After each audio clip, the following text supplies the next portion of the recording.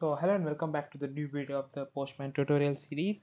So today in this video uh, we'll be seeing how we can create our very first API request in Postman. Okay, so since this is a beginner friendly course uh, and uh, this is a third our third video, I don't want to create any complex uh, API request. So in this video we'll be just seeing how we can get started using the Postman and how we can create and manage our uh, API request that we are going to send uh, or we are we are going to send to the server and server in response will give give a response to our to us. Okay through uh, postman. Okay so let's go and let me just open my postman. Okay uh, okay it's opening. Fine. Uh, so I am assuming that you have uh, uh, seen our previous videos and you have installed your uh, own version of your Postman in your PC, uh, whether it should be uh, Windows or Linux or Mac, uh, the UI will be same. Okay, fine.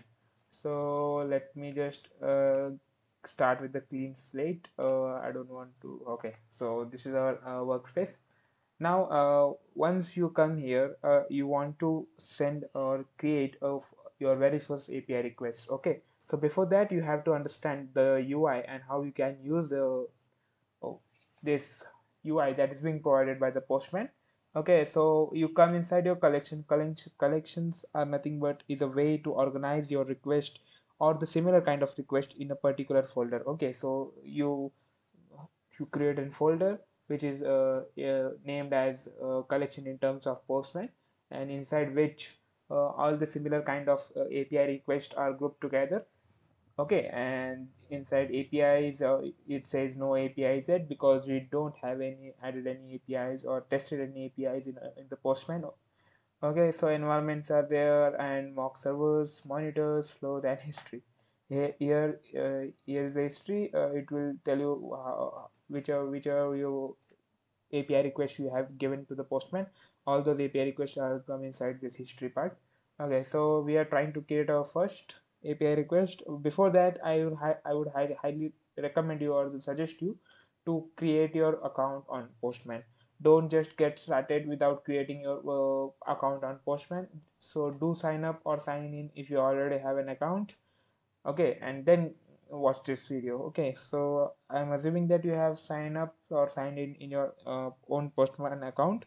Let's go and create our own very first api request through postman. Okay so for this video tutorial i will be using one uh, api which is named as deck of cards api uh, so you just go ahead and write deck of cards api in, in your browser and hit enter and very first uh, website you will see deckofcardsapi.com open it. Okay so uh, what it is uh, it is a api which is of the deck of cards the, the game you might have played once in your lifetime. Okay so we'll use the shuffle the cards uh, this this one shuffle the cards uh, request to send the there there are many requests uh, draw a card uh, shuffle reshuffle the cards. So we'll see all these in our upcoming videos for but now to create our very first own request uh, to the through API to Postman uh, we'll see the how we can do it with the shuffle the cards. Okay. So here you can see uh, this is the uh, this up till now uh, the this is our uh, what we can say endpoints. And after that you can see this is our resources and uh, after the question mark whatever we write is named as parameters. Okay so i hope you know all these terms. This is uh, endpoints resources and then parameters. Okay and here you can see uh, add a deck count uh, as a get or post parameter to define the number of decks you want to use. Okay so they are telling uh, telling us that you, we can modify the number of deck counts. Their default they have given as one. You can modify. Uh, blackjack typically uses uh, six decks. Uh, the default is one. Okay so they have given us the default.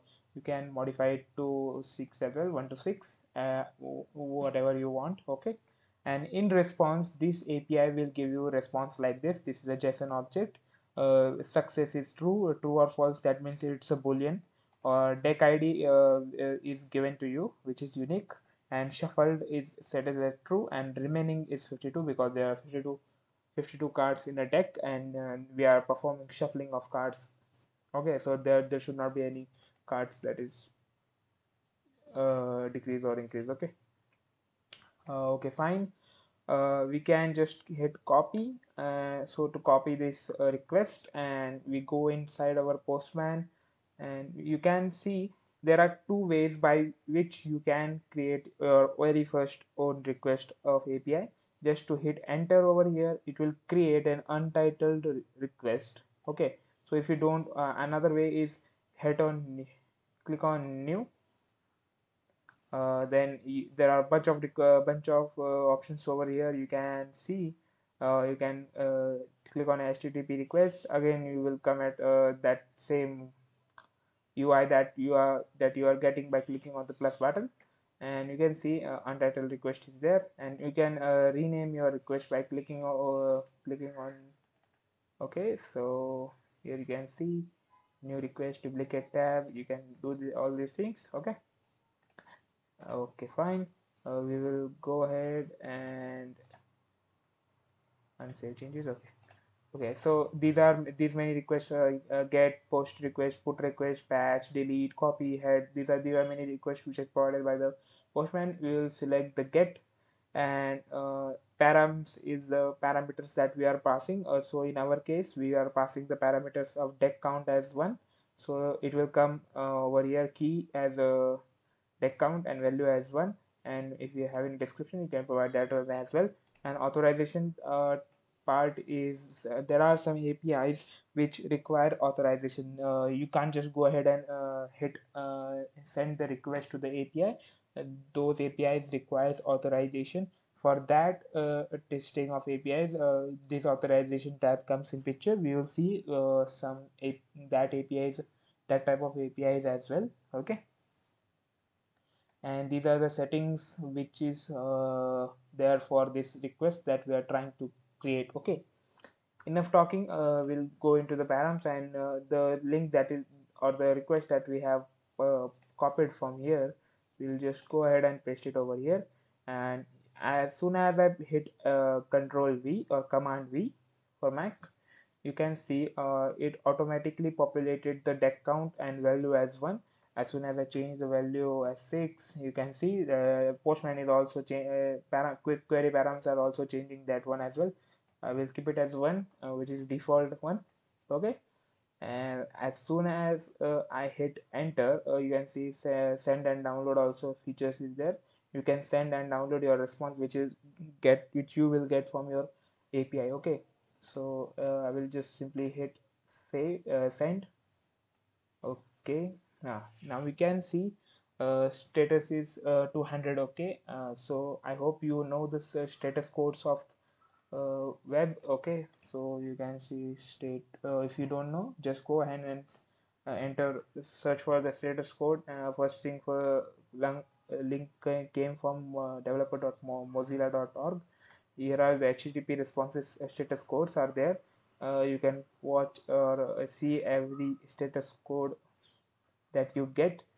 So our api has sent us status code as 200 okay the, if you hover over here you can see the documentation as well. The standard uh, you can see standard response for successful http request so our request is successful and time taken uh, is also is there and uh, amount of size uh, 8 830 bit uh, byte you it takes okay. Uh, so they here also Postman provides us various uh, tabs pretty means uh, all the JSON uh, response that we get from our API is prettified and uh, this looks in a good manner. Okay so raw raw means the the response that we get from our API in a raw preview uh, is a preview and visualize uh, setup. So we have to set up the visualizer for this. Okay we will do in upcoming videos but now you can see success is true. Uh, deck id is given to us. Remaining 52 and shuffled is true.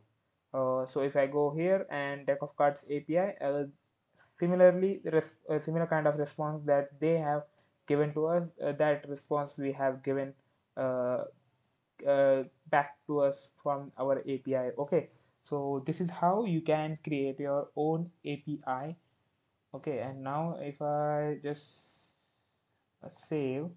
Uh, and here you can see uh, says you don't have any collections. Uh, let's let me create one collection so that you can understand the collection part as well. Create collection. Uh, I will name my collection as deck of cards API okay I'll create my collection. Okay so see, uh, the collection is empty. Uh, if I click on uh, save now we can go inside your collections and you can see deck of cards API collection is uh, collection is created uh, inside which our this API call is there and if I again hit hit enter or send this should give me the same kind of response but the deck ID is different okay? So uh, whenever you click on this deck ID will be different for every response that you are trying to give to the API okay? So if I give, give 2 you can see remaining is 104 okay uh, so the maximum is 6 I guess that we can give. Yeah 6 we can give and if I try to give 7 let's check what it takes. Okay shading is also 7 7 is also good. Okay so fine. Uh, I hope you got the idea how we can create a API request in Postman. Uh, okay, so thank you for watching this video and I will see you in the next one.